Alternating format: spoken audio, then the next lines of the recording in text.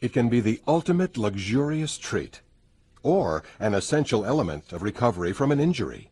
Either way, massage therapy is a legitimate part of the healthcare profession. With the current movement toward natural health, wellness, and prevention, there is renewed interest in massage therapy, which has its roots in ancient times. Massage therapists can work for themselves, physical therapy and rehabilitation practices, a health club, spa, even for a sports team or dance troupe. Some knowledge of basic anatomy is a good foundation for effective massage. Being comfortable touching patients is an absolute necessity, along with the ability to make the patient feel comfortable about the session. Do you have any medical concerns? Uh, no medical concerns. Any problems? Pain in specific area? Shoulders, lower back, neck? Many states license massage therapists, and a license will distinguish you as a professional service provider. Courses in physical education, fitness, and physical therapy could help provide skills.